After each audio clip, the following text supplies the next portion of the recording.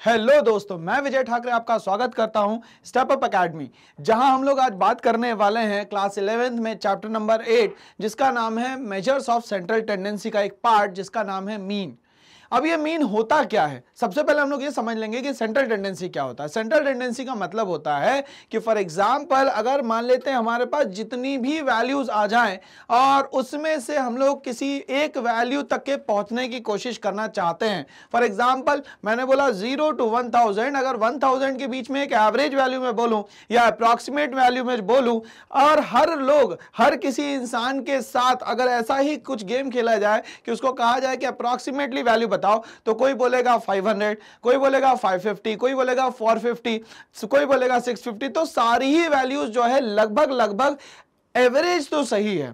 तो किसी भी चीज़ के एवरेज पे पहुँचने के लिए जो हम लोग तरीके अपनाते हैं, उसको हम लोग बोलते हैं मेजर्स ऑफ़ सेंट्रल टेंडेंसी तो मेरे ख्याल से समझ में आ गया होगा कि सेंट्रल टेंडेंसी का मतलब क्या होता है। तो चलिए हम लोग स्टार्ट करते हैं इसके इंट्रोडक्शन के साथ। There is a great need for some single measurement तो मैंने ये कहा आप लोगों से कि अगर मैं किसी बंदे को बोलूँ कि ज़ीरो से वन थाउज़ेंड के बीच में की वैल्यू बताइए तो फॉर एग्ज़ाम्पल कोई इलिटरेट पर्सन होगा तो वो बोलेगा, सर, ये होती है फाइव हंड्रेड कोई मान लेते हैं लिटरेट पर्सन होगा, वो भी बोल रहा है फाइव हंड्रेड कोई बोल रहा है इसको सिक्स फिफ्टी कोई बोल रहा है इसको फोर फिफ्टी मैं सभी वैल्यूज़ को क्या करूँगा, यहाँ पे कंसिडर करूँगा। आई रिपीट मैं सभी वैल्यूज़ को क्या करूँगा, यहाँ कंसिडर करूँगा। क्यों? क्योंकि इन सब सब वैल्यूज़ के आगे में एक वर्ड लिख दूँगा बेटा, उसको हम लोग बोलते हैं यहाँ पे अप्रॉक्स क्या बोलते हैं? अप्रॉक्स। तो किसी भी चीज़ की अप्रॉक्स वैल्यू जो होती है, उसको हम लोग क्या बोलते हैं यहाँ पे? Central tendency. तो ये बोल रहा है कि इतनी सारी चीज़ें हैं हमारे पास और हम लोग क्या चाहते हैं किसी सिंगल मेज़रमेंट पे पहुँचना। तो उस सिंगल मेज़रमेंट पे पहुँचने के लिए हम लोग जो कोशिश करते हैं, उसको बोलते हैं यहाँ पे measures of central tendency which can describe the main characteristics of the series और ये क्या करता है? किसी भी सीरीज़ की मेन कैरेक्टरिस्टिक्स को बताने का काम करता है। अब यहाँ पे जो वर्ड आया है सीरीज़ जनरली हम लोग जब भी कोई क्वेश्चन सॉल्व करते हैं तो हमारे पास उसके लिए क्या होता है? यहाँ पे डेटा होता है।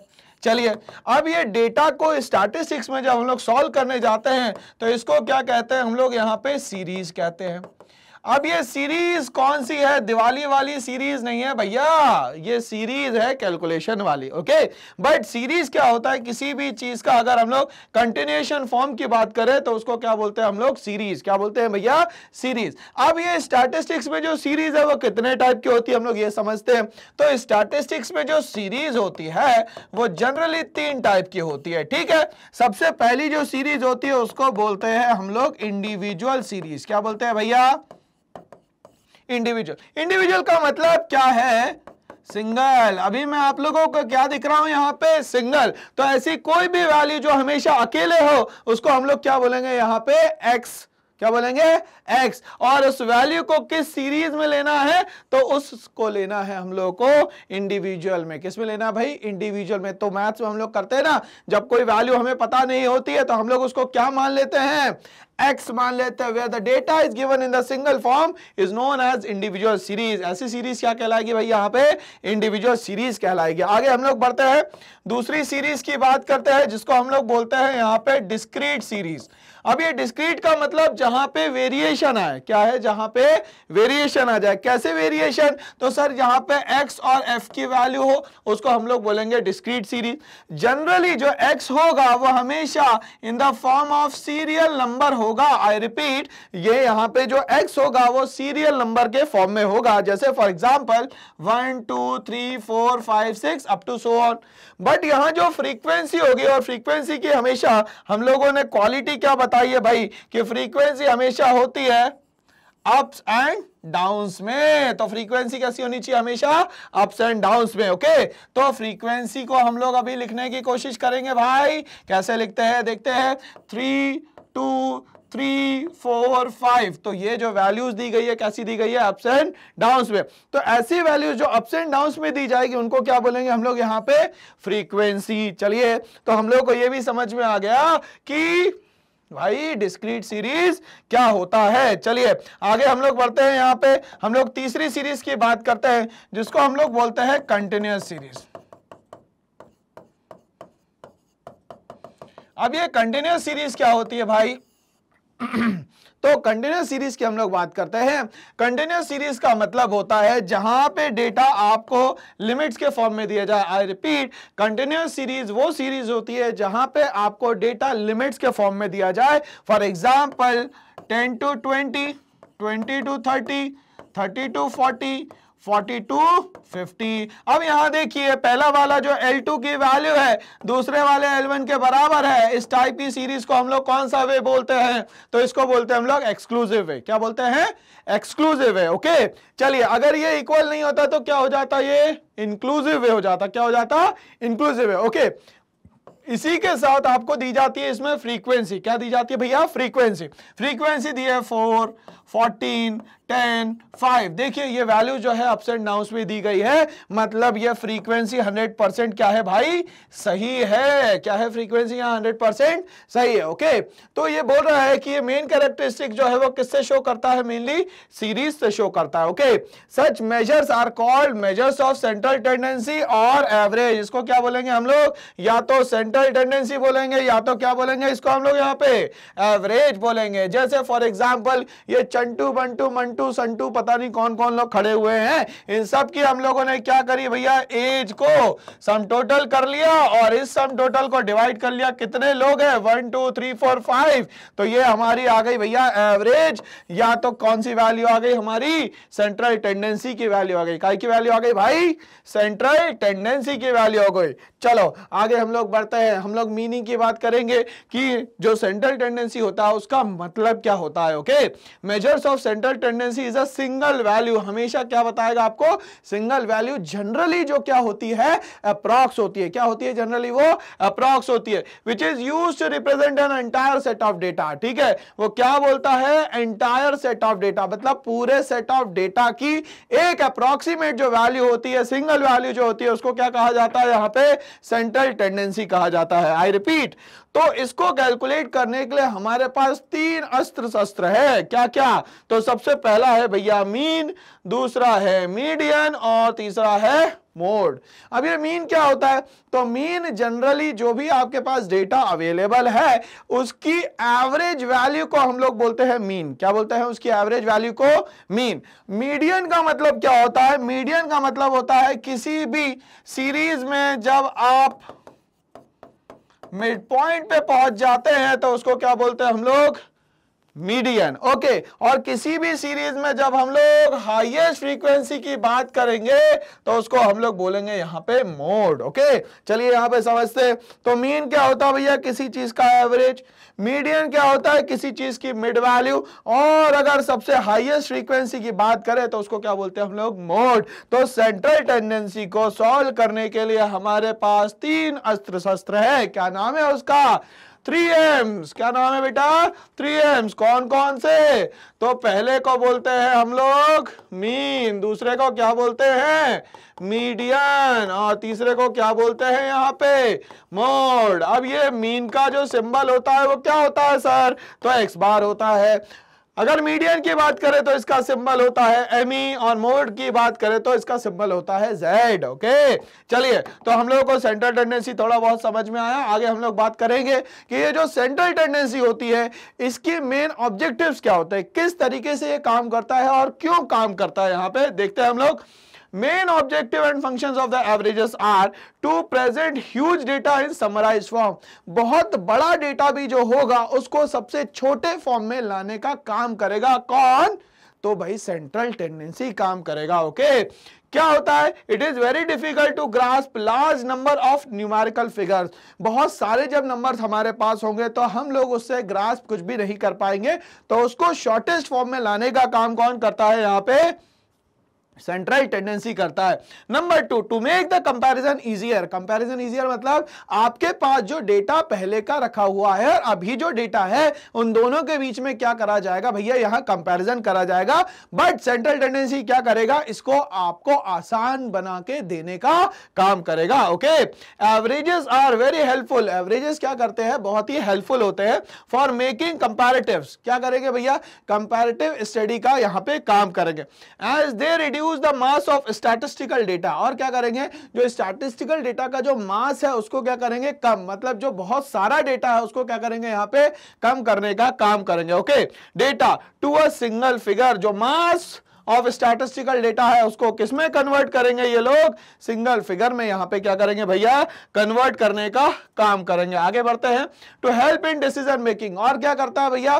तो आपके पास जो भी प्रॉब्लम्स आएगी, उसमें डिसीज़न लेने की कोशिश करेंगे। पता चल रहा है, गाड़ी चला रहे हाथ दे रहे हैं राइट वाला, गाड़ी ले रहे हैं लेफ़्ट मोड़। इसके कारण क्या हो जाएगा भैया? एक्सीडेंट हो जाएगा। तो क्या करो भाई? तो आप डिसीज़न लेना सबसे पहले शुरू करो। तो सेंट्रल टेंडेंसी क्या करता है आपको? डिसीज़न लेना सिखाता है। क्या लेना सिखाता, भाई डिसीज़न लेना सिखाता okay average provide such values which become guidelines for decision making ठीक है तो एवरेज क्या करता है? आपको गाइडलाइंस देता है कि how to make the decision okay आगे क्या बोलता है? To know about universe from a sample अब पूरे यूनिवर्स में से आप कुछ भी सैंपल उठाओ, ये भी सेंट्रल टेंडेंसी का ही पार्ट होता है, क्योंकि इस पूरी कंट्रीज़ का डेटा एक साथ एक जगह लाना बड़ा ही डिफ़िकल्ट काम है। बट कहीं से सैंपल तो लिया जा सकता है ना? तो वो लेंगे कैसे? तो वो लेंगे भैया सेंट्रल टेंडेंसी कैसे लेंगे भैया? सेंट्रल टेंडेंसी से। Average is also help in obtaining an idea average क्या करता है? आपको हेल्प करता है ऑप्टेनिंग एन आइडिया मतलब आइडिया देने के लिए okay of complete universe by means of sample data. By of sample data मतलब सैंपल डेटा देने के लिए ये क्या करते हैं? मेनली यहाँ पे सपोर्ट करते हैं। कौन सपोर्ट करते हैं? भाई साहब, क्या नाम है? तो सेंट्रल टेंडेंसी क्या करती है? सैंपल डेटा के लिए आपको सपोर्ट करती है। टू ट्रास प्रिसाइज रिलेशनशिप ठीक है? ये ट्रेस कर लेगा किसको भैया? प्रिसाइज रिलेशनशिप को। मतलब छोटे छोटे डेटा के बीच में जो भी रिलेशनशिप होगी, उसको ट्रैक करना बड़ा ही इसके लिए आसान है। Average becomes essential when it is desire to establish relationship between different groups in quantitative terms ठीक है? और ये क्या बोल रहा है भाई? कि अलग अलग जो एवरेज है, उसमें क्या करेगा? वो रिलेशनशिप क्या करेगा? यहाँ पे क्रिएट करेगा। क्या क्रिएट करेगा भाई? रिलेशनशिप क्रिएट करेगा। अब request of measures of central tendency मतलब किसी भी सेंट्रल टेंडेंसी की क्या क्या मिनिमम रिक्वायरमेंट होती है, जिससे वो सेंट्रल टेंडेंसी बनेगी, इसकी हम लोग बात करते हैं। Good measure of average must possess the following characteristics number one rigidly defined rigidly का मतलब होता है फिक्स्ड मतलब इसमें अगर रूल्स एंड रेगुलेशंस बना दिए जाए तो इसमें चेंज करना बड़ा ही डिफ़िकल्ट काम है। चेंज बहुत आसानी से यहाँ पे नहीं किया जा सकता okay and average should be clear and rigid जो भी आप एवरेज निकालेंगे, वो बहुत ही क्लियर होना चाहिए और रिजिड होना चाहिए okay so that there is no confusion तो इसके कारण क्या होगा? कंफ्यूजन बिल्कुल भी नहीं होगा. And there is one and only one interpretation और इसके कारण जो रिज़ल्ट होगा, वो एक निकलेगा. अलग अलग बंदों के अलग अलग रिज़ल्ट नहीं आएँगे. भाई, एक ही रिज़ल्ट यहाँ पे आएगा. Based on all the observation और बोल रहा है कि जो सेंट्रल टेंडेंसी है, उसकी एक रिक्वायरमेंट है कि ये सारे ऑब्जर्वेशंस को कंसीडर करती है। आई रिपीट ये क्या करती है? सारे ऑब्जर्वेशंस को क्या करती है भाई? कंसीडर करती है। बोलता है average should be calculated by taking into consideration क्या लिया जाएगा? तो हमेशा एवरेज लिया जाएगा। इसको बेस माना जाएगा। Each and every item of the series और जो भी आइटम है सीरीज़ का, उन सबको यहाँ पे कंसीडर एक एक बार किया जाएगा। तो ये सारे रिक्वेस्ट की बात हो रही है, यहाँ पे रिक्वायरमेंट की बात हो रही है। It should be at least affected by fluctuation of the sampling मतलब जो हम लोग सैम्पलिंग करते हैं, उससे बहुत ज़्यादा इंपैक्ट इस पर नहीं पड़ता है। क्यों नहीं पड़ता क्योंकि सेंट्रल टेंडेंसी अपने आप में एक अप्रोक्सीमेटली सिंगल वैल्यू होती है। इसीलिए इस पर कोई भी इंपैक्ट यहाँ पे नहीं पड़ता okay and average should possess sampling stability क्या देता है भैया? सैंपल्स को भी स्टेबल कर देता है। मतलब इसमें बहुत ज़्यादा फ्लक्चुएशन के चांसेस नहीं रहते। Capable of further algebraic treatment ठीक है?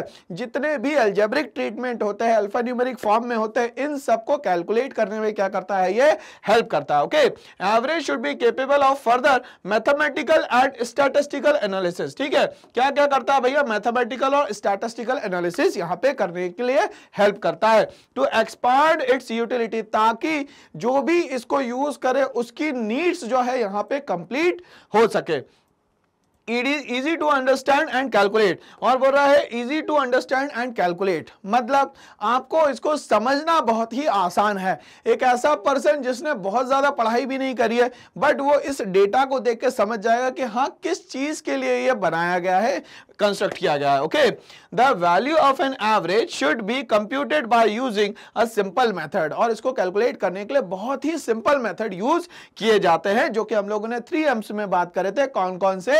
मीन मीडियन और mode okay without reducing its accuracy and other advantages ठीक है, बहुत ज़्यादा एक्यूरेसी में यहाँ बात नहीं करेंगे। क्यों? क्योंकि यहाँ पे बात होती है हमेशा एवरेजेस पे। किस पे बात होती है भाई?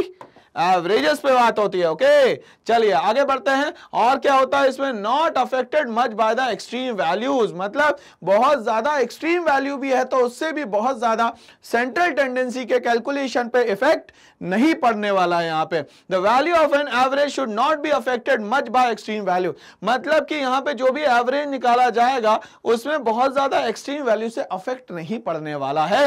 If one or two very small or very large item unduly affect the average, the average value may not truly represent characteristics of the entire set of data. मतलब एक डेटा बहुत ज़्यादा बड़ा हो जाए एक डेटा बहुत ज़्यादा छोटा हो जाए तो इन सबसे उस एवरेज में बहुत ज़्यादा इंपैक्ट नहीं पड़ने वाला। तो ये हम लोगों ने कुछ रिक्वेसाइट्स की बात करी रिक्वायरमेंट की बात करी किसकी? सेंट्रल टेंडेंसी की। ओके अब हम लोगों को एक मेन टॉपिक पे आना जो कि फ़र्स्ट पिलर है to calculate the central tendency वो है एरिथमेटिक मीन ठीक है? अब ये मीन का मतलब क्या होता है भाई? इसको ध्यान से समझते हैं। ये बंदा भी कंफ्यूज है मीन को लेके। ओके चंटू, बंटू और मंटू, तीनों गए भैया होटल में। क्या खाना है भाई? तो ये चले गए। अब इन लोगों के पास कुछ अमाउंट रखा हुआ था। चंटू के पास टेन रुपीज़ था, बंटू के पास ट्वेंटी रुपीज़ था और मंटू के पास थर्टी रुपीज़ था। ये लोगों ने वहाँ जाके क्या करा? कंट्रीब्यूशन करा और ये सिक्सटी रुपीज़ का कुछ सामान ले आए। चलिए भैया, ठीक है। ओके तो ये सिक्सटी रुपीज़ का सामान ले आए। ओके, अब इनने बोला कि भाई पर हेड जो है, वो कितना खर्चा हो रहा है हमारा? तो ट्वेंटी रुपीज़ खर्चा हो रहा है। तो अब ये जो चंटू महाराज है, इस चंटू महाराज को दस रुपए और देने पड़ेंगे। किसको देने पड़ेंगे? तो ये मंटू महाराज को देने पड़ेंगे। ठीक है? ओके।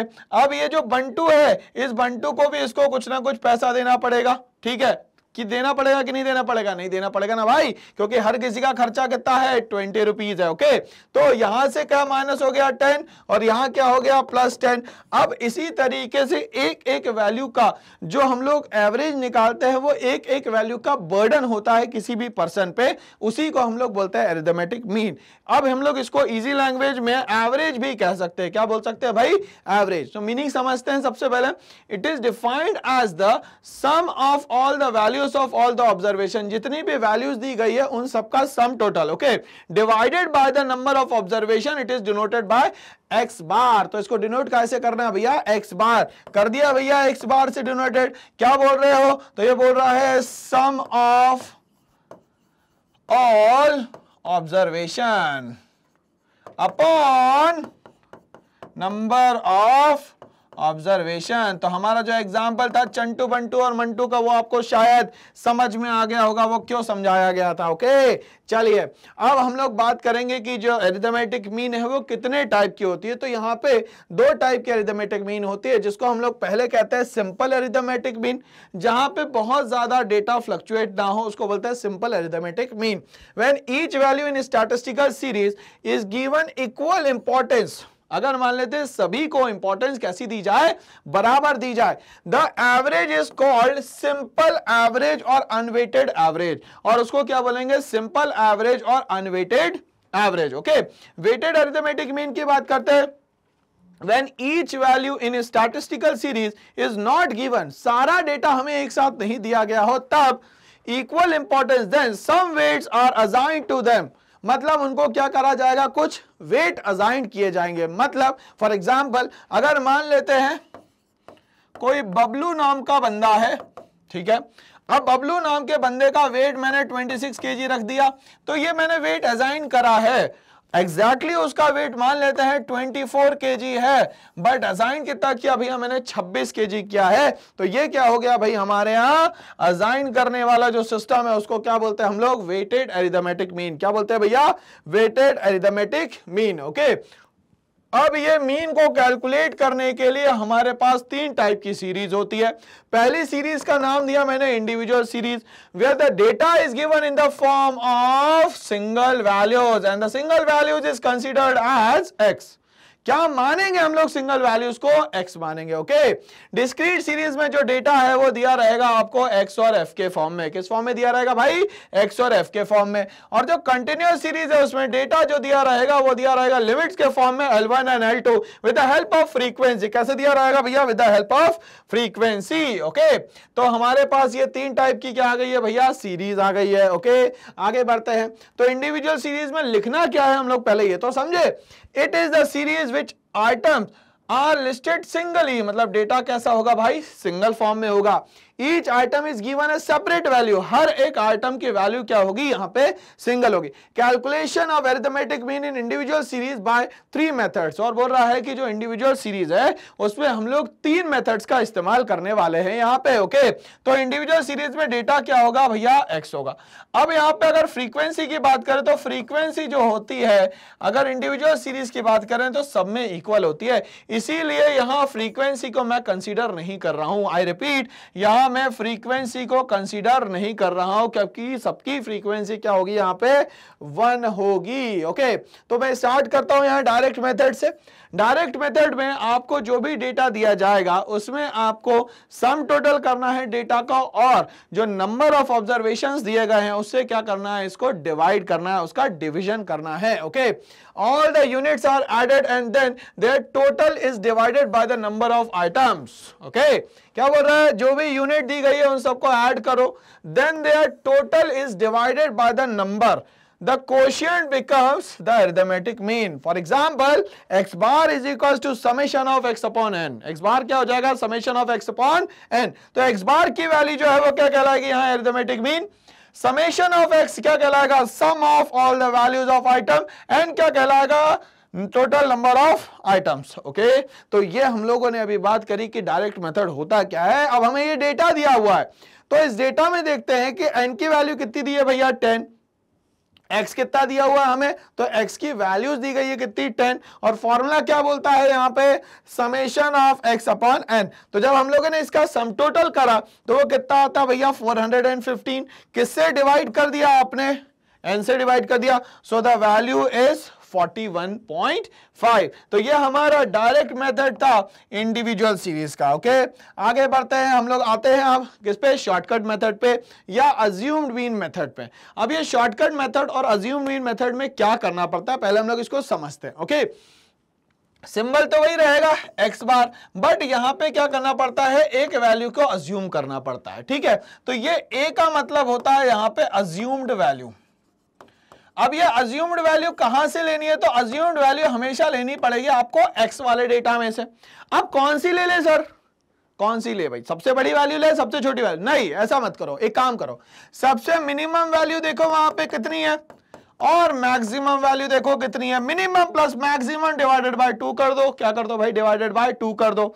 अब इससे जो भी वैल्यू आई, ठीक है? फॉर एग्ज़ाम्पल यहाँ पे देखें हम लोग तो सबसे मिनिमम वैल्यू हमें देखना है कोई, ठीक है? तो इसमें सबसे मिनिमम वैल्यू कौन सी दिख रही है? तो ये 32 ले ली, ठीक है? अब मैक्सिमम वैल्यू कौन सी दिख रही है? फॉर एग्ज़ाम्पल मैंने 48 ले ली, ठीक है? तो मिनिमम प्लस मैक्सिमम करा 32 प्लस 48 डिवाइडेड बाई टू करा तो ये 8 प्लस टू टेन हो गया, ये 80 हो गया 80 डिवाइडेड बाई टू कर लिया मैंने, ठीक है? तो अब मान लेते हैं, यहाँ पर मैंने कितनी वैल्यू ले ली भाई? 80 डिवाइडेड बाय तो कितना आ गया भैया? यहाँ पे 40 आ गया। अब ये जो 40 आया, क्या दिया हुआ है क्या इसमें? नहीं दिया। अगर 40 नहीं दिया तो भी उससे बड़ी वैल्यू देखो, ठीक है? आप इसमें कुछ भी एज्यूम कर सकते हो बट मैं कोशिश करता हूँ कि पूरी क्लास का आंसर लगभग एक जैसा है। तो जो भी आपकी minimum plus maximum value divided by two करने से जो भी वैल्यू आएगी, उससे बड़ा नंबर या एग्जैक्टली exactly वही नंबर लेना है हमें ओके तो आपको ये तो समझ में आ गया कि ए कहाँ से अज्यूम करना है। तो ए अज्यूम करना है हमेशा एक्स में से, ठीक है? इसके बाद हम लोग बात करेंगे इसमें डीएक्स की। अब ये डीएक्स का मतलब क्या होता है? Deviation from the value of X कि आप जो एग्जैक्टली वैल्यू है एक्स की, उससे कितना आप डेविएट हो रहे हैं that is known as deviation from X और इसका फॉर्मूला क्या होता है भैया? एक्स माइनस ए ओके अब यहाँ से आपके पास आंसर आ चुका है। कैसे आंसर आ चुका है? समझे। आपकी अगर dx की वैल्यू नेगेटिव आ रही है ओके okay? मतलब सम टोटल ऑफ़ डीएक्स जो है वो नेगेटिव आ रहा है। तो आंसर जो है आपके अज्यूम्ड वैल्यू से कम होगा। अब dx की जो वैल्यू है वो पॉजिटिव आ रही है तो आंसर आपका अज्यूम्ड वैल्यू से क्या होगा भैया? ज़्यादा होगा। तो अगर मान लेते हैं dx की वैल्यू ज़ीरो आ रही है तो आपका आंसर अज्यूम्ड वैल्यू के बराबर होगा। तो आंसर आपके सामने है, आपने जो भी कैलकुलेशन किया, ठीक है? तो परेशान होने की बिल्कुल भी ज़रूरत नहीं है।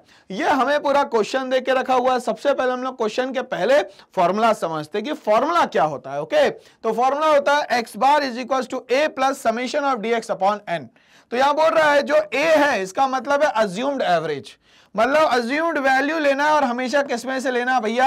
एक्स में से लेना dx का मतलब क्या होता है? Deviation from x. और dx का फॉर्मूला क्या होता है भैया? X माइनस है और n का मतलब क्या होता है यहाँ पे? नंबर ऑफ़ आइटम्स क्या होता है n का मतलब यहाँ पे? नंबर ऑफ़ आइटम्स अब क्वेश्चन दिया हुआ और क्वेश्चन में पूछा है कि भैया ये कैलकुलेट करके दो बट यहाँ पे मुझे ये बताओ कि यहाँ पे a क्या लेना है? तो सर ए तो वही लेना है। Minimum plus maximum divided by two okay अब यहाँ पे ये वैल्यूज़ दी गई है एक्स की पूरी की पूरी, और यहाँ पे हमें निकालना है डी एक्स तो कैसे निकलेगा भैया? एक्स माइनस ए से। तो हमने क्या करा यहाँ पे? फॉर एग्ज़ाम्पल अज्यूम कर लिया 48 को। तो यहाँ 48 माइनस फोर्टी करेंगे तो कितना हो जाएगा भैया? Zero 32 minus forty eight forty two minus forty eight thirty nine minus forty eight 36 minus 48, 48 minus 48, 41 minus 48, 44 minus 48, 37 minus 48, ये minus 48, तो ये सारी वैल्यूज़ आ गई। ठीक है? अब इनका हम लोग सम टोटल करते हैं। तो पहले हम लोग क्या करते हैं भाई? नेगेटिव वैल्यू को पिक कर लेते हैं। नेगेटिव वैल्यू एक ये हो गई नेगेटिव वैल्यू एक दो तीन चार पाँच छ सात सात नेगेटिव वैल्यू देखिए अब पॉजिटिव दिख रही है क्या? एक भी पॉजिटिव नहीं है। इन सबका सम टोटल कर दिया। अब ध्यान सुनना भाई। इन सबका सम टोटल करेंगे तो समेशन ऑफ़ डीएक्स जो है, वो भी आएगा नेगेटिव मतलब answer is less than the assumed value मतलब आंसर जो है, आपका 48 से कम आएगा। ये तो तय बात है ओके चलिए, अब हम लोग इसको सॉल्व करने की कोशिश करते हैं भाई। तो ए की जगह वैल्यू पुट कर दी मैंने कितनी भैया? 48 समेशन ऑफ़ dx की वैल्यू पुट कर दी minus sixty five divided by क्या कर दिया? टेन तो forty eight minus six point five किया तो आया फोर्टी वन पॉइंट फाइव बताओ सही है कि नहीं है? सही है क्यों? क्योंकि जो आपने अज्यूम्ड वैल्यू लिया था, उससे वैल्यू क्या हुई है आपकी? कम हुई है या कम आई है? यहाँ तक के बात समझ में आ गई होगी। अब हम लोग नेक्स्ट बात करेंगे यहाँ पे स्टेप डेविएशन मेथड की। स्टेप डेविएशन मेथड में बहुत ज़्यादा दिमाग लगाने की ज़रूरत नहीं है। यहाँ देखें हम लोग तो यहाँ हम लोग बात करने वाले हैं, जो एरिथमेटिक मीन है, उसका सिंबल क्या होता है भैया? एक्स बार एक्स बार तो होता है, ठीक है, और शॉर्टकट मेथड में भी हम लोगों ने कुछ फॉर्मूले की स्टार्टिंग तो हम लोग ने कर दी थी ओके तो यहाँ पे हम लोग बात करेंगे, यहाँ जो वैल्यू है वो होगी ए क्या होगी भैया? ए और ये ए का मतलब क्या होता है? अज्यूम्ड वैल्यू क्या होता है भैया?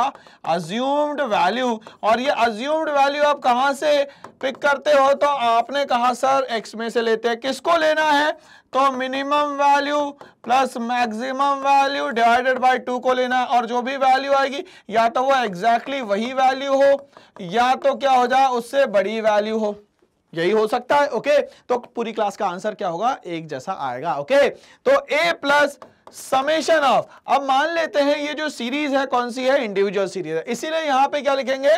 डी डैश एक्स लिखेंगे। Upon N multiplied by C okay अब यहाँ डी डैश एक्स का मतलब समझते हैं। अभी हम लोगों ने समझा था डी एक्स का मतलब होता है एक्स माइनस ए क्या होता है? एक्स माइनस ए ओके अब ये डी डैश एक्स का मतलब क्या होता है? तो X minus A upon C और dx अपॉन सी क्या होता है भाई? dx अपॉन सी ओके चलिए तो हमारे पास ये सी सी सी बार बार आ रहा है, इसका मतलब क्या होता है भैया? इसका मतलब होता है कॉमन फैक्टर क्या होता है? कॉमन फैक्टर अब ये कॉमन फैक्टर क्या आतंक मचाने वाला है विच डिवाइड्स क्या करेगा भैया? विच डिवाइड्स डीएक्स ऐसी वैल्यू जो डीएक्स को डिवाइड कर दे उसको क्या मानेंगे हम लोग यहाँ पे? कॉमन फैक्टर क्या मानेंगे भैया?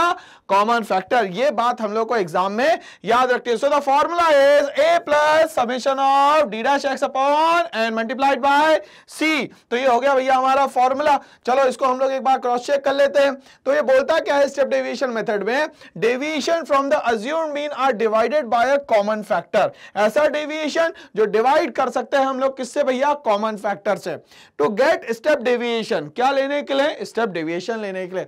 These steps deviation are use to calculate the value of arithmetic mean और ये किसके लिए सबसे इंपॉर्टेंट है भैया? एरिथमेटिक मीन को कैलकुलेट करने के लिए बहुत ज़्यादा क्या है भैया? इंपॉर्टेंट है ओके फॉर्मूला क्या हो गया? X bar is equal to A plus summation of D dash X लिख लेता हूँ मैं यहाँ पे upon N multiplied by C okay तो यहाँ पे डी डैश एक्स का मतलब क्या होगा भैया? एक्स माइनस अपॉन सी और summation of D dash X का मतलब क्या है? Sum of the step deviation और सी का मतलब क्या होता है यहाँ पे? Common factor okay which divides DX क्या होता है भैया? विच डिवाइड्स डीएक्स यहाँ तक के कोई दिक्कत, समस्या, परेशानी है तो बताइए भैया। अब हम लोगों को करना पड़ेगा इसी के साथ एक क्वेश्चन समझते हैं इसको? Find the arithmetic mean by step deviation method. Step deviation method can be based only when deviation from assumed mean are divisible by common factor.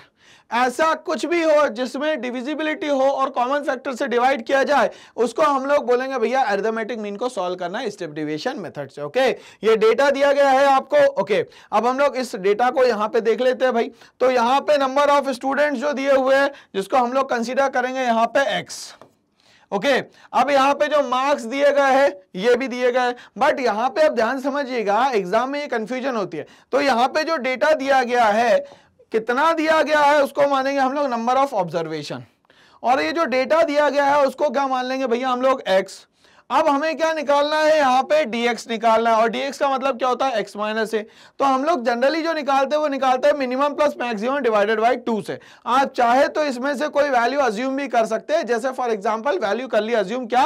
50 मतलब 85 माइनस फिफ्टी करेंगे 60 माइनस फिफ्टी करेंगे 50 माइनस फिफ्टी करेंगे 75 minus fifty करेंगे। ये up to so on ये minus करते जाएँगे भैया। Okay okay?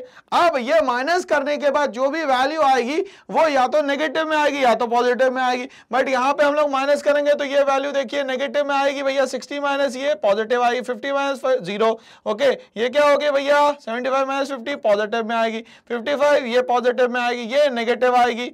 ये क्या होगी 55 माइनस फिफ्टी पॉजिटिव होगी। ये 70 minus fifty positive 45 minus five forty five minus fifty minus five क्या होगा भाई? नेगेटिव और 65 माइनस फिफ्टी तो हम लोग क्या करते करते हैं नेगेटिव वैल्यू को पिक कर लेते हैं भैया। ये नेगेटिव वैल्यू आ रही है ओके मतलब five plus ten plus thirty five मतलब ये फिफ्टीन प्लस थर्टी फाइव मतलब फिफ्टी जो है वैल्यू आ गई। बट इसका सम टोटल जो है वो तो करना ही नहीं है।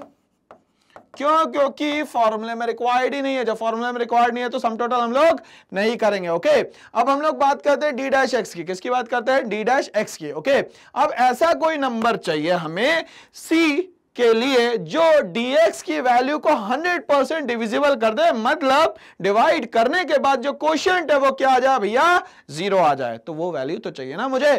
तो देखते हैं हम लोग, ऐसा कोई नंबर जो डिवाइड कर सकता है? हाँ भाई, दिमाग में आ गया एक नंबर पाँच। कॉमन फैक्टर हम लोग ले लेंगे बेटा यहाँ पे पाँच, क्योंकि ये सारे नंबर्स को क्या कर सकता है? हंड्रेड परसेंट डिविजिबल कर सकता है ओके डिवाइड करते हैं तो ये वैल्यू बच गई माइनस सेवन इसको करेंगे तो ये पॉजिटिव बच जाएगा भैया। ये भी पॉजिटिव बच जाएगा, ये भी पॉजिटिव ये नेगेटिव बच गया, ये पॉजिटिव ये पॉजिटिव ये नेगेटिव और ये भी क्या बच जाएगा भैया? पॉजिटिव तो जब हम लोगों ने सम टोटल किया इसका तो क्या आया भैया? डी डैश एक्स की वैल्यू 20 और डी डैश एक्स की वैल्यू अगर 20 आ गई और पॉजिटिव आ गई तो आंसर हमेशा क्या होगा? अज्यूम का ज़्यादा आएगा। क्यों? क्योंकि यहाँ पे डी डैश एक्स की वैल्यू जो क्या है, वो पॉजिटिव है। क्या है भैया? पॉजिटिव है। ध्यान समझते हैं। X bar is equal to A plus summation of D dash X upon N multiplied by C फॉर्मूले में पुट करी वैल्यूज़ क्या अज्यूम करा था आपने? 50 अब डी डैश एक्स की वैल्यू कितनी आ गई भैया? ये देखिए यहाँ पे। 20 जो कि पॉजिटिव थी तो answer is more than assumed value okay divided by 10 multiplied by 5 so the answer is 60 marks तो इस तरीके से हम लोग क्या करेंगे भैया? स्टेप डेविएशन मेथड को यहाँ पे सॉल्व करेंगे ओके अब हम लोग बात करते हैं डिस्क्रीट सीरीज़ की। मैंने कहा कि डिस्क्रीट सीरीज़ वो सीरीज़ होती है जहाँ पे डेटा दो फॉर्म में होता है। पहला जो होता है उसको हम लोग बोलते हैं एक्स और दूसरा जो होता है उसको बोलते हैं हम लोग F I repeat discrete series में डेटा हमेशा दो फॉर्म में दिया रहता है, एक तो होता है एक्स और दूसरा होता है क्या? एफ़ अब डिस्क्रीट सीरीज़ बोलती क्या? The value of variable shows the repetition और बोल रहा है कि यहाँ वैल्यूज़ जो है वो क्या होती जाएगी? कंटिन्यूसली रिपीट होती जाएगी।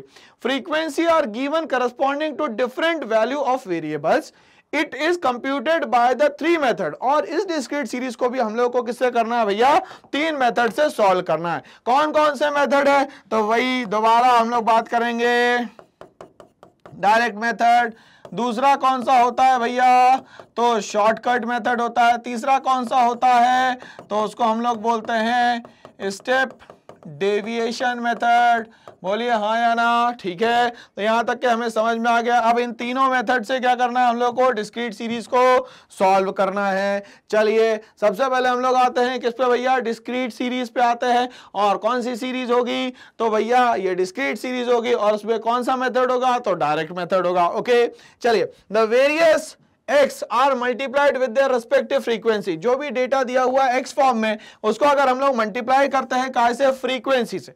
अब जो उसका सम आता है, उसको क्या बोलेंगे भैया? समेशन ऑफ़ एफ़ एक्स क्या बोलेंगे भैया? सम को हम लोग समेशन ऑफ़ एफ़ एक्स क्या बोलेंगे भाई? Summation of X X F X ठीक है? और divided by the total of frequency और किससे डिवाइड कर देंगे? टोटल ऑफ़ फ्रीक्वेंसी से। To determine simple arithmetic mean तो फॉर्मूला क्या हो जाएगा? X bar is equal to summation of F X upon summation of F okay अब हमारे को ये क्वेश्चन दिया हुआ है और ये डिस्क्रिप्शन दिया हुआ पहले ये समझते हैं। समेशन ऑफ़ एफ़ मतलब एफ़ से मल्टीप्लाई कर दो एक्स को और जो भी टोटल आ जाए वो। दूसरा, यहाँ पे जो फ्रीक्वेंसीज का टोटल दिया गया है वो ओके अब ये क्वेश्चन दिया हुआ है। मार्क्स दिए हुए 60 स्टूडेंट के मतलब कि कहीं ना कहीं एन की वैल्यू या समेशन ऑफ़ एफ़ की वैल्यू तो गिवन है भैया, कितनी? 60 calculate average marks by the direct method okay तो डेटा दिया हुआ है, अब ये मार्क्स को मैं मान लेता हूँ एक्स तो ये एक, दो, तीन, चार, पाँच, छह, ये डेटा दिया हुआ है हम लोगों को। नंबर ऑफ़ स्टूडेंट दिए एट ट्वेंटी टेन सिक्स और फोर ये डेटा दिया हुआ है। चलिए, अब हम लोग मूव करते हैं इसके सॉल्यूशन पे। चलिए सॉल्यूशन देखते हैं हम लोग। तो ये एक्स दिया हुआ है twenty thirty forty fifty sixty seventy ये देखो, ये सीक्वेंस में दिया हुआ अब ये नंबर ऑफ़ स्टूडेंट इसको क्या माना था मैंने? एफ़ माना था। अब इसको मल्टीप्लाई कर देते हैं twenty multiplied by eight thirty multiplied by twelve forty multiplied by twenty fifty multiplied by ten ये मल्टीप्लाई कर दिए सारे। ये इसकी वैल्यू आ गई। सम टोटल आ गया टू फोर सिक्स ज़ीरो फॉर्मूले में पुट कर दिया। फॉर्मूला क्या होता है? X bar is equal to summation of f x upon summation of f sum total कितना है? दो, चार, छह, शून्य।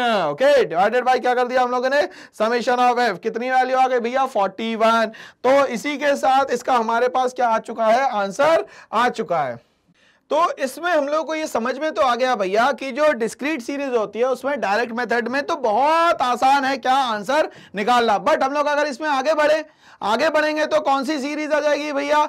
सीरीज़ तो कौन सी रहेगी भैया? इंडिविजुअल सीरीज़ के बाद आ जाती है डिस्क्रीट सीरीज़ और डिस्क्रीट सीरीज़ में ही तो हम लोग आगे बात कर रहे हैं। मगर आगे कौन सा मेथड यूज़ होने वाला है? तो आपने कहा, सर शॉर्टकट मेथड यूज़ होने वाला है। चलिए शॉर्टकट मेथड पे स्विच करते हैं हम लोग। तो शॉर्टकट मेथड में करना क्या पड़ता है? तो आपने कहा कि जो डेटा है, उसमें अज्यूम करना पड़ता है किसी वैल्यू को। किसको अज्यूम करना पड़ता है? किसी वैल्यू को। और उस वैल्यू को जिसको अज्यूम करते हैं, उसका नाम क्या दिया हम लोगों ने? यहाँ पे ए क्या नाम दे दिया भैया? ए और जो ए वैल्यू है वो आएगी कहाँ से? तो वो आएगी हमेशा एक्स में से। कहाँ से आएगी भैया? एक्स में से। कैसे निकालेंगे? तो उन्होंने कहा, सर, एक काम करो मिनिमम वैल्यू रखो और मैक्सिमम वैल्यू रखो डिवाइडेड बाय टू कर दो। जो भी वैल्यू आएगी, उससे बड़ा जो नंबर होगा, उसको हम लोग क्या करेंगे? अज्यूम्ड वैल्यू मान लेंगे। क्या मान लेंगे भैया? अज्यूम्ड वैल्यू मान लेंगे। ओके चलिए, हम लोग अब बात करते हैं शॉर्टकट मेथड या हम लोग बात करेंगे अज्यूम्ड मेथड की। तो यहाँ फॉर्मूला क्या होता है? X bar is equal to a plus summation of f f dx upon summation of f. Here dx means x minus a, और ये जो a है, कहाँ से आपने अज्यूम करा है बच्चों? x में से। कहाँ से अज्यूम करा भैया? x में से। तो यहाँ बोलता है समेशन ऑफ़ एफ़ dx मतलब f को dx से क्या कर दो? मल्टीप्लाई कर दो। ओके चलिए विथ रेस्पेक्ट फ्रीक्वेंसी क्वेश्चन हम लोग देखते हैं। ये हमें दिया हुआ है मार्क्स मतलब x, और नंबर ऑफ़ स्टूडेंट मतलब दिए हुए हैं भैया, f. तो ये 20, 30, 40, 50, 60 और 70 अप टू सोन ये दिया हुआ है डेटा ये काय का दिया हुआ भैया? एक्स का डेटा और ये क्या दिया हुआ है? फ्रीक्वेंसी 8, 12, 20, 10, 6, 4 अब देखिए फ्रीक्वेंसी की क्वालिटी होती है। क्या? कि डेटा हमेशा होना चाहिए अप्स एंड डाउन में। बिल्कुल सही डेटा दिया हुआ है भाई। कंफ्यूज होने की बिल्कुल भी आवश्यकता नहीं है ज़रूरत। नहीं है। चलिए सॉल्यूशन की हम लोग बात करते हैं। तो यहाँ दिया हुआ है एक्स डेटा ओके तो एक्स जनरली किस फॉर्म में रहता है? सीरियल फॉर्म में रहता है सीक्वेंस फॉर्म में रहता है ओके नंबर ऑफ़ स्टूडेंट को क्या मान लेता हूँ? बेटा मैं यहाँ पे एफ़ मान लेता हूँ। और एफ़ जो है वो कैसा होना चाहिए? अप्स एंड डाउन्स में, बिल्कुल अप्स एंड डाउन्स में। इसके सम टोटल की ज़रूरत है क्या सर हाँ बिल्कुल सम टोटल की ज़रूरत है। क्यों नहीं ज़रूरत है? क्यों? क्योंकि डिवीज़न किससे करोगे? अब यहाँ पे डी एक्स की वैल्यू हम निकाल लेते हैं। डी एक्स इजिकल्स टू होता है एक्स माइनस ए और ए आपने क्या अज्यूम कर लिया? भैया फोर्टी अज्यूम कर लिया। अच्छी बात है। चलिए तो आपने फोर्टी अज्यूम करा, मगर ये एक अज्यूम करा कहाँ से? बताओ। तो आपने करा अज्यूम एक्स में से। चलिए, ये एक्स में से ये 40 अज्यूम कर लिया। अब ये 20 कहाँ से आ गया भाई? तो यहाँ 20 अब यहाँ अज्यूम क्या करा? 40 तो 20 minus forty thirty minus 40 40 minus 40 50 minus 40 60 minus 40 70 minus 40 अब टू सो ऑन करते जाएँगे आप। तो यहाँ पे पहली वैल्यू आ गई भैया नेगेटिव दूसरी वैल्यू नेगेटिव तीसरी ज़ीरो फोर्थ जो है वो आ गई टेन फिर आ गई ट्वेंटी और फिर आ गई थर्टी देखिए, सारी वैल्यूज़ मैच कर रही है अब हमारी ओके अब हमें क्या निकालना है भैया? एफ़ डी एक्स निकालना है। मतलब अब करना क्या है हम लोगों को? एफ़ को डी एक्स से मल्टीप्लाई करना है। मतलब frequency is multiplied by d x okay eight into minus twenty 12 into minus 10, 20 into 0, 10 into 10, 6 into 20, 4 into 30. अब देखिए अप टू सो ऑन ये नेगेटिव वैल्यू का सम टोटल और ये पॉजिटिव वैल्यू का सम टोटल ओके तो ये कितना हो गया भैया सम टोटल कर लेते हैं। टू प्लस टू फोर ये हो गया 340 माइनस करते हम लोग तो ये कितना हो गया 280 तो डिफरेंस अमाउंट कितना बच गया भैया? कितना बच गया भैया? Summation of f d x की वैल्यू का डिफरेंस तो इन्होंने बोला 60 अब साइन कौन सा आना चाहिए भैया? तो साइन मान लेते हैं कि ये नेगेटिव साइन है। और ये क्या है? पॉजिटिव तो साइन का आएगा भैया? पॉजिटिव साइन आएगा। ओके तो ए की वैल्यू कितनी मानी आप लोगों ने sir 40 summation of f d x की जो वैल्यू वो कितनी आ रही है? 60 समेशन ऑफ़ एफ़ की वैल्यू कितनी है? 60 तो अब ये डिवाइड करेंगे तो कितना बचेगा? वन तो 40 plus one is equal to कितना हो जाएगा यहाँ पे? 41 क्या हो जाएगा भैया? 41. क्या हो जाएगा यहाँ पे? 41 ओके चलिए, अब हम लोग बात करेंगे स्टेप डेविएशन मेथड पे। स्टेप डेविएशन मेथड में क्या होता है भाई? तो फॉर्मूले पे सबसे पहले हम लोग ध्यान देंगे। ये बोलता है values of deviation are divided by a common factor यहाँ पे जो भी डेविएशन की वैल्यू होगी, वो हमेशा डिवाइड कैसे होगी भैया common factor to ease the calculation process इसके कारण आपकी जो कैलकुलेशन प्रोसेस है, वो क्या हो जाती है? बहुत ही आसान हो जाती है okay okay? The deviation obtained after this division are known as step deviation ठीक है? क्या मानते हैं इसको हम लोग? स्टेप डेविएशन फॉर्मूले की बात करते हैं फॉर्मूला क्या होता है? X bar is equal to a plus summation of f d dash x upon summation of f multiplied by c अब यहाँ एफ़ डी डैश एक्स का मतलब क्या होता है भैया? तो एफ़ डी डैश एक्स का मतलब होता है sum of the product of step deviation of the respective frequency find out कैसे करना है? तो इन्होंने कहा d dash x is equal to d x जो होता है माइनस ए, ओके? या हम लोग बोल सकते हैं यहाँ पे x माइनस ए क्योंकि dx की जगह हम लोग क्या लिख सकते हैं भैया? x माइनस ए लिख सकते हैं, ओके? तो हमारे पास फॉर्मूला क्या आ गया यहाँ पे? A plus summation of d dash x upon summation of f multiplied by c. क्या हो गया यहाँ पे? Multiplied by c. और c क्या होता है भैया अपने आप में? सर, आपने बताया था कॉमन फैक्टर और कॉमन फैक्टर क्या करता है? डिवाइड करता है किसको भैया? Dx को. चलिए, हम लोग अब इसके क्वेश्चन की भी बात कर लेते हैं। फॉर्मूला तो डिस्कस हो गया। चलिए फॉर्मूला क्वेश्चन आ जाते हैं। तो क्वेश्चन बोलता है ये मार्क्स मतलब दिया है x.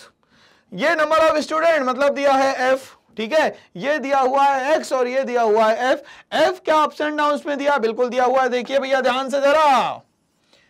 Eight twelve twenty ten six four okay और ये सीरियल वाइज दिया हुआ है, ठीक है? चलिए आगे बढ़ेंगे हम लोग इसमें। हम बात करते हैं अब क्वेश्चन के सोल्यूशन की ओके चलिए ये एक्स दिया हुआ है। नंबर ऑफ़ स्टूडेंट को क्या मान लिया एफ़ अब हमें चाहिए क्या क्या फॉर्मूले के हिसाब से? तो सबसे पहले चाहिए सर ए ठीक है, एक इसमें से निकालना है एक्स में से मिनिमम और मैक्सिमम वैल्यू के बीच की वैल्यू लेनी है ओके अब हम लोगों ने इसमें से देखा, क्या ले लिया भैया हम लोगों ने?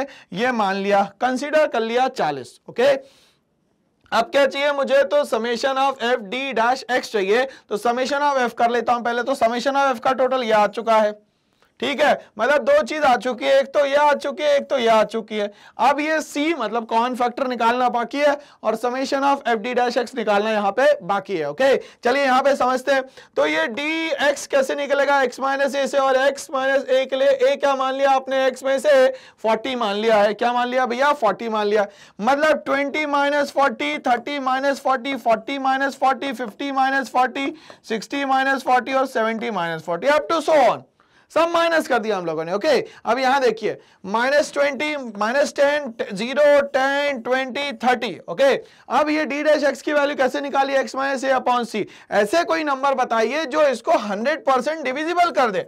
तो ऐसा नंबर मुझे दिखा टेन तो मैंने सी की वैल्यू क्यों मान ली भैया? टेन और डिवीज़न कर दिया इसका तो वैल्यू क्या है? Minus two minus one zero one two three okay अब हमें क्या चाहिए? यहाँ पे एफ़ डी डैश एक्स चाहिए ओके अब क्या करना पड़ेगा? एफ़ को डी एक्स से मल्टीप्लाई करना पड़ेगा। ये रहा एफ़ और ये रहा आपका डी डैश एक्स मल्टीप्लाई कर दिया। तो ये वैल्यूज़ आई। अब ये नेगेटिव और ये सारी पॉजिटिव इनका सम टोटल कर दिया।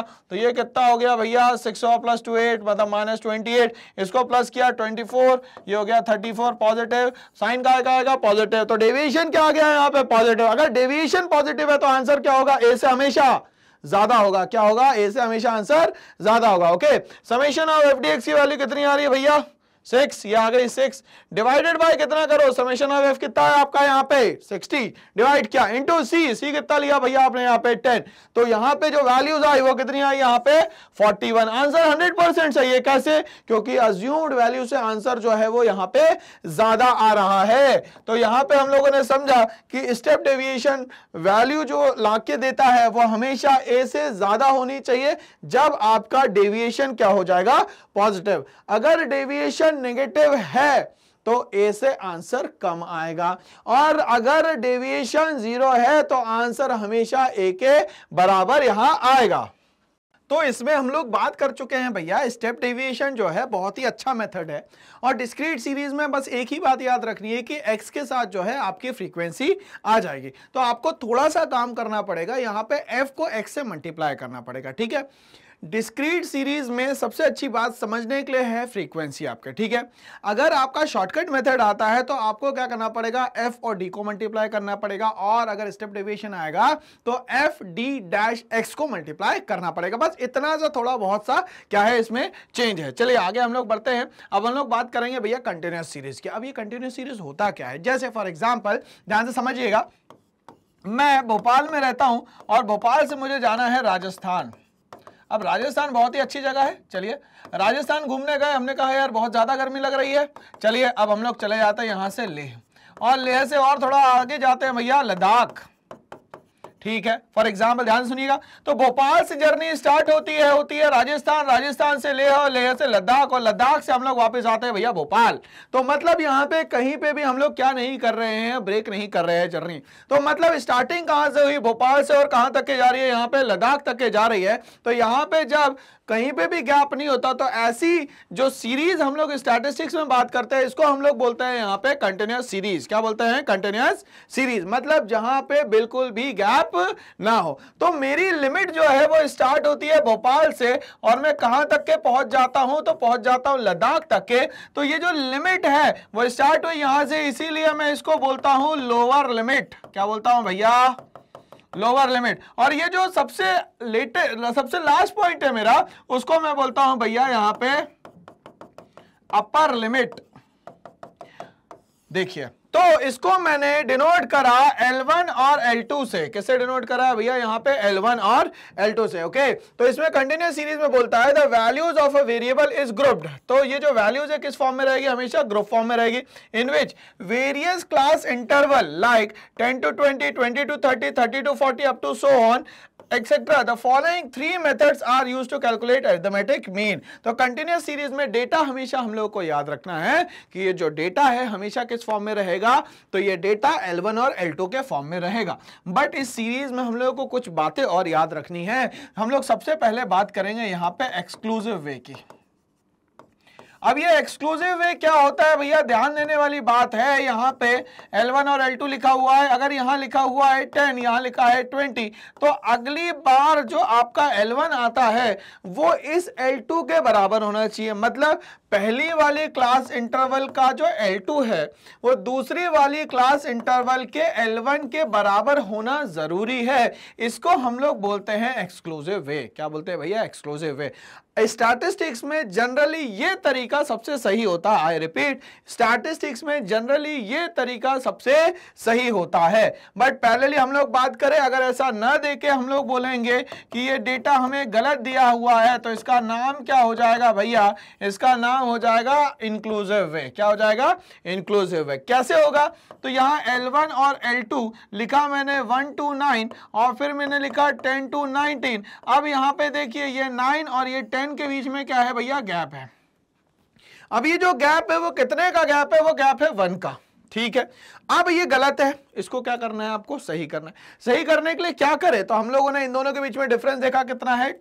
वन का. इसका क्या निकाल दिया मैंने? एवरेज क्या निकाल दिया भैया? एवरेज एवरेज कितना आ गया? 0.50 अब ये जो 0.50 है, उसको L1 निकालने के लिए मुझे करना पड़ेगा माइनस क्या निकालने के लिए? L1 निकालने के लिए और L2 निकालने के लिए मुझे क्या करना पड़ेगा भैया? प्लस आई रिपीट L1 निकालने के लिए करना पड़ेगा माइनस और L2 निकालने के लिए करना पड़ेगा प्लस। तो अब यहाँ पे नया L1 L2 क्या हो जाएगा? तो 1 माइनस ज़ीरो करेंगे। तो कितना आ जाएगा? 0.50 और अगर मान लेते L2 निकालना है तो क्या हो जाएगा भैया? प्लस करना पड़ेगा 50 तो ये हो जाएगा 9.50 टेन में से माइनस करेंगे तो ये हो जाएगा 9.50 और अगर इस पर प्लस करेंगे तो ये हो जाएगा 19.50 so the individual way is converted into किसमें आ गया भैया? ये जो हमारे इंडिविजुअल सीरीज़ अगर मान लेते हैं डिस्क्रीट सीरीज़ मान लेते हैं, या हम लोग मान लेते हैं क्या कंटेनर सीरीज़ तो ये जो डिफेक्ट है, वो मेनली कहाँ दिखेगा आपको कंटेनर सीरीज़ में? ना तो इंडिविजुअल में दिखने वाला है, ना तो डिस्क्रीट में दिखने वाला है, ठीक है ना? ये कहाँ दिखेगा आपको कंटिन्यूस में? तो आपको एक्सक्लूसिव वे जो है वो सही तरीका है। तो उसको इंक्लूसिव को कहाँ पहुंचाना है? हमेशा आपको एक्सक्लूसिव वे में पहुंचाना है। तो यहाँ देखिए, ये दोनों बराबर हो गए। मतलब हमारी कंटिन्यूस सीरीज़ क्या है? सही हो गई। बट टीचर और प्रॉब्लम अगर क्रिएट करना चाहे तो क्या करेगी? वो करेंगी ऐसा कि आपको मिड पॉइंट या मिड वैल्यू दे दे। अब ये मिड पॉइंट और मिड वैल्यू कैसे निकाली जाती है? तो इसको x या m कहा जाता है। कैसे निकाली जाती है? L1 one plus l two divided by two से निकाली जाती है ओके और टीचर ने क्या करा? ये x या m दे दिया। फॉर एग्ज़ाम्पल दिया 2.5 17.5 12.5 17.5 इस तरीके से दे दिया। अब आप क्या करेंगे? आपको बोला गया L1 L2 बनाने के लिए कैसे बनाएँगे? तो अब देखिए, इसके बीच में गैप कितने का? तो सर, इसमें बीच में जो गैप है वो कितने का है भैया? फाइव का है। फाइव का क्या निकाल दो यहाँ? एवरेज कितना आ गया फाइव का एवरेज तो ये आ गया 2.5 आई रिपीट फाइव का एवरेज कितना आ गया? 2.5 L1 निकालने के लिए क्या करो भैया? इसमें से जो एवरेज आया उसको माइनस कर दो। तो 2.5 minus two point five is zero 2.5 plus 2.5 is five अब यहाँ कितना आ जाएगा? 7.5 पॉइंट फाइव माइनस टू कितना हो जाएगा भाई? यहाँ पे 5 इसमें एड ऑन कर देंगे तो ये कितना हो जाएगा भैया? 10 अब ये कितना हो जाएगा? 10 ये हो जाएगा 15 ये हो जाएगा 15 और ये हो जाएगा 20 अब सर, ये आपने गलत किया है। मैंने बोला हाँ गलत किया है। आप बताओ, मैंने गलत किया है क्या? उन्होंने कहा, नहीं सर। आधे लोग बोल रहे सही किया। आधे लोग बोल रहे गलत किया। तो मैंने कहा, एक मिनट रुको। अपन ने बोला था मिड पॉइंट निकालने के लिए फॉर्मूला क्या होगा? L one plus l two divided by two बोलिए। है ना? तो यहाँ L1 कितना है भैया? 15 पुट कर दिया 15 L2 कितना है? 20 प्लस कर दिया डिवाइडेड बाय टू ये कितना हो जाएगा? 35 डिवाइडेड बाय टू तो वैल्यू कितनी आई? 17.5 अब ये 17.5 जो है, ये देखिए मिड वैल्यू मिड पॉइंट है। गलत है क्या? कि सही है? तो ये समझ में आया कॉन्सेप्ट तो टीचर यहाँ तीन जगह से जहाँ तक, जहाँ पे उलझाएगी, वहाँ वहाँ से हम लोग बहुत अच्छे से निकल जाएँगे, okay? The value of a variable grouped अब आपको समझ में आ चुका है कि जो भी ग्रुप्ड में वैल्यूज़ दी जाएँगी, वो सारी की सारी क्या होंगी? हमेशा कंटिन्यूस सीरीज़ की होंगी। अब कंटिन्यूस सीरीज़ में भी हमारे पास कितने मेथड है भैया? मीन कैलकुलेट करने के लिए तीन मेथड वही डायरेक्ट मेथड शॉर्टकट मेथड और स्टेप डेविएशन मेथड चलिए स्टार्ट करते हैं हम लोग डायरेक्ट मेथड में। अब यहाँ फॉर्मूला क्या बोलता है? X bar is equal to summation of f m और समीशन ऑफ़ एफ़ अब हम लोग यहाँ पे क्या करते हैं भाई? इसको ऐसा भी लिख सकते हैं। Summation of f x upon n और क्या लिख सकते हैं? Summation of f x upon summation of f okay चलिए तो यहाँ पे एफ़ एक्स का मतलब है कि जो फ्रीक्वेंसी दी है, उसको मल्टीप्लाई करना है आपको एक्स से, और यहाँ पे जो एफ़ दिया हुआ है, वो आपको ऑलरेडी फ्रीक्वेंसी दी गई है। बट यहाँ पे एक्स निकालने के लिए क्या करना है? तो आपको एक्स निकालने के लिए l one plus l two divided by two करना है। क्या करना है भैया? L one plus l two divided by क्या करना है? टू करना है। जैसे यहाँ पे zero plus five divided by two करेंगे, आ जाएगा टू पॉइंट फाइव। तो यहाँ पे ये वैल्यू कितनी आ गई भैया? Two point five. पहले क्वेश्चन समझ ले। बोलता है कि क्वेश्चन में मार्क्स दिए हुए हैं मतलब ये L1 और ये L2 के फॉर्म में दिया हुआ है data up to so on ये फ्रीक्वेंसी आपको दिया अप टू सो ऑन ठीक है? अब क्वेश्चन एक बार समझ लिया हम लोगों ने। अब हम लोग इसके फॉर्मूले को समझते हैं। समेशन ऑफ़ एफएम का मतलब क्या होगा? Sum of the product of mid point मतलब मिड पॉइंट के साथ जब मल्टीप्लाई करेंगे फ्रीक्वेंसी को, तब हमारे पास आंसर आएगा। और समेशन ऑफ़ एफ़ का मतलब क्या होता है? Total number of items okay आगे बढ़ते हैं हम लोग इसमें। क्वेश्चन की बात कर ली हम लोगों ने। अब यहाँ पे ये जो डेटा दिया हुआ है, ये किस फॉर्म में दिया है? L1 और L2 के फॉर्म में दिया है। अब निकालना क्या है भैया? इससे मिड वैल्यू फॉर्मूला क्या मैंने बोला? भैया, x is equals to l one plus l two divided by two तो कैसे आ गया भैया? तो ये zero plus five divided by two कितना आ गया? 2.5 ये प्लस कर दिया। क्या आ गया? 7.5 ये प्लस कर दिया 12.5 ये प्लस कर दिया, ये आ गया। ये प्लस कर दिया, ये आ गया। देखिए भाई, ये आ गया। अब आपके पास क्या है? फ्रीक्वेंसी अवेलेबल है। तो नंबर ऑफ़ स्टूडेंट को क्या मान लिया आपने? यहाँ पे फ्रीक्वेंसी मान लिया। मल्टीप्लाई कर दिया किसको? एफ़ एक्स को। मतलब ये एम को मैं यहाँ पे एक्स भी मान सकता हूँ ओके यहाँ लगा दिया मैंने मल्टीप्लाई का साइन ओके? ये सारी वैल्यूज़ आ गई. 2.5 point five into two is equal to five seven point five into eight ये अप टू सो वन आ गया. अब इसका टोटल कितना आ गया? समेशन ऑफ़ एफ़ एम या तो मैं इसको बोल सकता हूँ summation of F X is equal to कितना हो गया भैया? 405 समेशन ऑफ़ एफ़ का टोटल कितना था? ऑलरेडी 30 तो यहाँ पे पुट करी value X bar is equal to summation of F X ऐसा लिख सकता हूँ मैं इसको। Summation of F X upon summation of F ये कितना है भैया? 405 और ये कितना है भैया? यहाँ पे 30 आंसर कितना आ गया? यहाँ पे 13.50 यहाँ पे कोई दिक्कत, परेशानी है क्या आपको? नहीं है। ये हम लोगों ने क्या किया भैया? तो यहाँ पे हम लोगों ने पहला मेथड सॉल्व किया, जिसको हम लोग बोलते हैं डायरेक्ट मेथड आगे हम लोग बढ़ते हैं, आते हैं शॉर्टकट मेथड पे। शॉर्टकट मेथड में क्या करना है भैया? एक बात याद रखिए कि एक वैल्यू को कंसिडर करना है, जिसको हम लोग बोल रहे हैं यहाँ पे ए ए का मतलब होता है एज्यूम्ड वैल्यू इस अज्यूम्ड वैल्यू को आपको कहाँ से लेना है? फ्रॉम एक्स से कैसे लेना है? तो सर, आपने कहा मिनिमम वैल्यू और मैक्सिमम वैल्यू में से लेना है, ठीक है? और मिनिमम और मैक्सिमम में जो भी आपको समझ में आ रहा है, वो वैल्यू ले। बट मिनिमम वैल्यू और मैक्सिमम वैल्यू के बीच में जो वैल्यू है, उससे आपको ज़्यादा वाली वैल्यू लेनी है। ये बात हमें याद रखना है। ओके डी का मतलब क्या होता है? एम माइनस ए मतलब आपकी जो भी एक्स की वैल्यू आएगी, उसमें से ए को माइनस कर दो। अब बोलता है समेशन ऑफ़ एफ़ डी का मतलब sum of the product of the deviation होता है ओके और बात करेंगे हम लोग यहाँ पे फ्रीक्वेंसी की। ये हम लोगों ने अभी डिस्कशन किया कि फॉर्मूला क्या होता है ओके ये हमारा क्वेश्चन हो गया। सारा L1 L2 के फॉर्म में दिया है और नंबर ऑफ़ स्टूडेंट दिए हैं हम लोगों को। ओके okay, आगे हम लोग बढ़ेंगे यहाँ पे। X और F दिया हुआ है। नंबर ऑफ़ स्टूडेंट को मैंने क्या मान लिया है? यहाँ पे F मान लिया है। Okay okay? और ये मिड वैल्यू दिया मिड वैल्यू कैसे निकालते हैं? X is equals to L one plus L two divided by two से। अब यहाँ पे ये डी एक्स दिया हुआ है। इसका फॉर्मूला क्या होता है भैया? एक्स माइनस ए होता है। Okay okay? अब ये दिया हुआ एफ़ डी एक्स ओके चलिए अब ये आपको दी हुई है क्या? L1 और L2 के फॉर्म में, ये आपकी फ्रीक्वेंसियों की मिड वैल्यू आपने निकाल। ली कैसे निकाली mid value zero plus five divided by two five plus ten divided by two ten plus fifteen divided by two fifteen plus twenty divided by two twenty plus twenty divided by two ये आ गई value सारी। ये आ गई आपकी क्या? X की वैल्यू या एम की वैल्यू अब क्या करना है? इन्होंने बोला डीएक्स निकालना है। डीएक्स निकालने के लिए क्या करना पड़ता है? एक्स माइनस से और एक्स कहाँ से लेना पड़ेगा? तो आपको मिड वैल्यू में से लेना पड़ेगा। मिड वैल्यू में सबसे बीच में क्या दिख रहा है आपको? 12.5 तो 12.5 को कंसिडर कर लिया आपने यहाँ पे। ये हो गया 12.5 कंसीडर हमारा। ओके अब माइनस कर दिया। तो 12.5 को माइनस करा इसमें से तो माइनस टेन, इसमें से माइनस करा तो minus five, twelve point five में से माइनस ट्वेल्व पॉइंट फाइव करा तो ज़ीरो, इसको माइनस करा ट्वेल्व पॉइंट फाइव तो ये हो गया five, twelve, twenty two point five minus करा ट्वेल्व पॉइंट फाइव तो ये कितना हो गया टेन। अब इसको dx को मल्टीप्लाई करना है किससे? आपको भैया f से। ये कर दिया आपने इन दोनों को बच्चों मल्टीप्लाई ओके अब क्या आ गया भैया? Two into ten minus twenty अब ये माइनस माइनस वालों की बिरादरी ज़्यादा है तो एक बात याद रखे नेगेटिव लोगों की तादाद हमेशा ज़्यादा रहेगी। कभी भी किसी गलत चीज़ को सीखने के लिए किसी भी क्वालिफिकेशन की ज़रूरत नहीं है। बिगड़ने के लिए कभी भी क्वालिफिकेशन की ज़रूरत नहीं सुधरने के लिए क्वालिफिकेशन की ज़रूरत है। ऐसे ये नेगेटिव वैल्यू जो है, ये हमारे जो मीन वैल्यू है, उसको कम कर देती है। ठीक है ना? ओके तो इस नेगेटिव चीज़ों पर ज़्यादा ध्यान नहीं देने का है। ओके तो फाइव और फोर्टी को मिलाया तो ये कितना हो गया? नाइनटी और इसको मिलाया तो ये कितना हो गया? सिक्सटी मगर माइनस सिक्सटी है। माइनस करा तो पॉजिटिव क्या आ गया? थर्टी अब ए की वैल्यू कितनी मानी भैया आपने? तो कहा, सर 12.5 मानी मैंने। चलिए, अच्छी बात है। तो आपकी डेविएशन की वैल्यू क्या आ रही है यहाँ पे? पॉजिटिव अगर डेविएशन की वैल्यू अगर पॉजिटिव आ रही है, इसका मतलब आपका आंसर अज्यूम्ड वैल्यू से ज़्यादा आएगा। अज्यूम्ड वैल्यू से क्या आएगा भैया?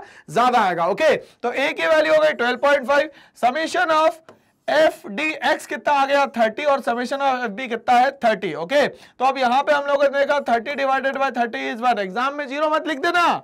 तो आंसर भी ज़ीरो ही आएगा फिर आपका, ऐसा नहीं करना भाई।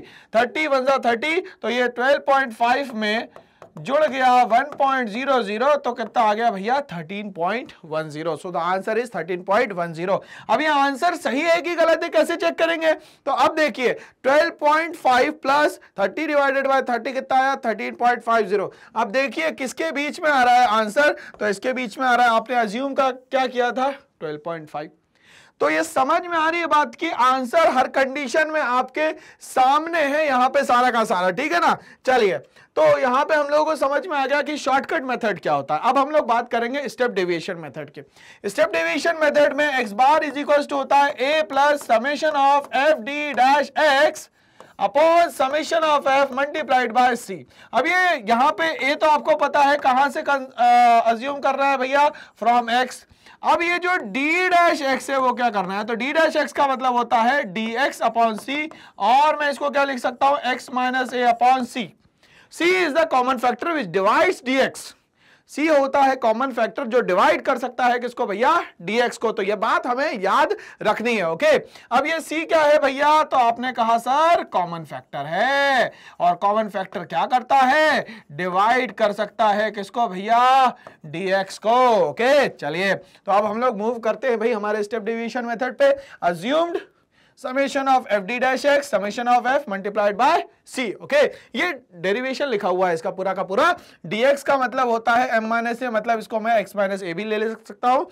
Deviation of mid point from assume mean अब d डैश x का मतलब क्या होता है? Step deviation assume from the mean divided by common factor common factor को क्या मान लिया आप लोगों ने यहाँ पे सी समेशन ऑफ़ एफ़ तो क्या है? पता ही है फ्रीक्वेंसी का सम टोटल तो ये डिस्क्रिप्शन दिया हुआ है पूरा का पूरा। स्टेप डेविएशन का ये क्वेश्चन दिया हुआ है। आपके पास जो डेटा है, ये किस फॉर्म में दिया है भैया? L1 और L2 के फॉर्म में दिया है। अब इससे क्या निकाल लेना आप? X निकाल लेना x कैसे निकालेंगे? L1 one plus L divided by two इसका नामकरण तो करो, बोलते क्या है इसको? इसको बोलते हैं मिड पॉइंट क्या बोलते हैं भैया इसको? मिड पॉइंट बोलते हैं ओके ये नंबर ऑफ़ स्टूडेंट को कंसीडर कर लो फ्रीक्वेंसी हो गया काम तमाम। चलिए अब हम लोग सोल्यूशन पे जाते हैं इसके। मार्क्स की बात करिए, आपको मार्क्स दिए हैं L1 और L2 के फॉर्म में। नंबर ऑफ़ स्टूडेंट दिए है F अब सबसे पहले फोकस करो फॉर्मूले पे, क्या क्या चाहिए? तो सबसे पहले ए चाहिए। अब ए निकालने के लिए आपको एक्स चाहिए, और एक्स कैसे निकलता है? L1 plus L2 divided by two से निकलता है भाई। चलिए L1 प्लस एल टू मतलब zero plus five divided by two करेंगे तो कितना आएगा? 2.5 7.5 12.5 17.5 22.5 ये वैल्यूज़ आ गए। इसमें से एक वैल्यू क्या कर लो? एज्यूम कर लो, क्योंकि आपको क्या चाहिए भाई? यहाँ पे ए चाहिए। क्या चाहिए? ए चाहिए। ओके ये कर लिया आपने एज्यूम माइनस कर देते हैं। 12.5 को माइनस करना है 2.5 से। माइनस ट्वेल्व पॉइंट फाइव, ये तो ज़ीरो ही आ जाएगा।